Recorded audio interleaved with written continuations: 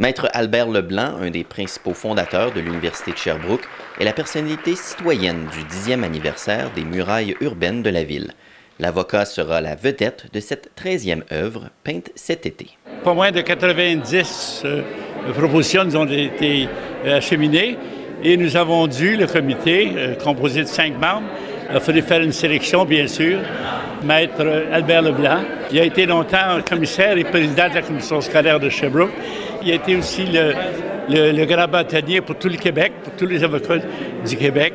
Alors, c'est un personnage très éminent.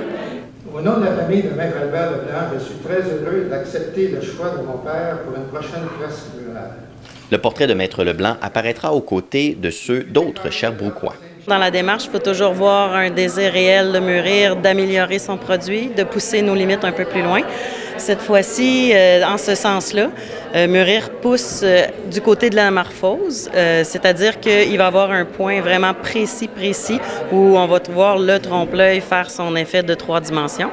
De façon générale, on est toujours de toute façon entre 8 et 16 artistes sur les murales. C'est devenu un produit où les gens venaient à Sherbrooke pour voir ça. Donc, un produit touristique. on continue à investir, on continue à supporter Mûrir. cet été, dans le National Geographic, dans leur édition d'été, euh, on a une page pleine d'une murale.